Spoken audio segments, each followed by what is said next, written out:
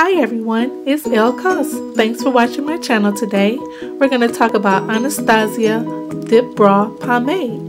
It's a beginner friendly tutorial and it's very easy to use, so let's get started. Starting with eyebrows that's already brushed in the direction that the hair grows, I go ahead and take an angle brush with a small amount of product on it.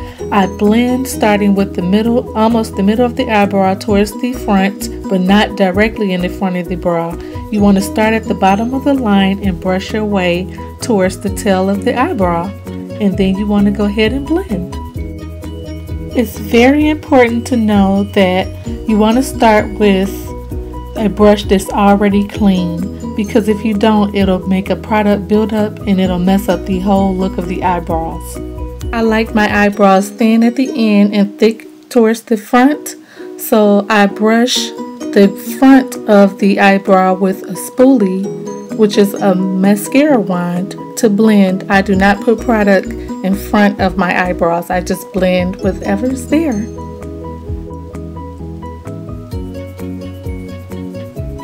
I take concealer that's the same color as my skin tone or even lighter for the bottom of my bra for a highlight look and I blend. I use the same exact color as my skin tone on top of the bra to clean up around the bras.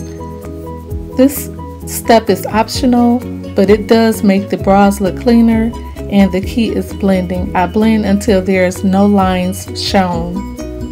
You can either use a beauty blender or you can use a flat round brush just as I am in the video.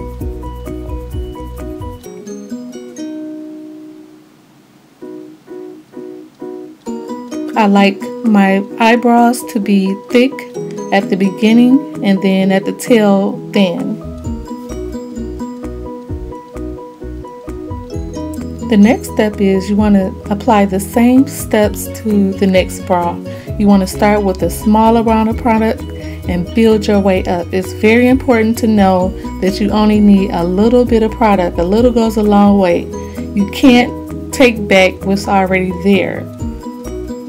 It's very easy to put a lot of this product on because it's a, sort of a clayish, gelish formula. So you want to use little as possible and just build up. Again, using concealer to clean up my eyebrows at the top and bottom. I go ahead and blend very well.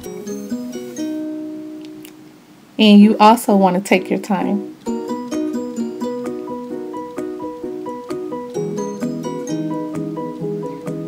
You take the spoolie, the, ma the ma mascara wand, and blend very well. And that's it. You're all set. Everything is done. The eyebrows should be done. And if you have any further questions, don't hesitate to contact me, subscribe, comment below, rate, and follow me. Thanks, guys. Have a great day.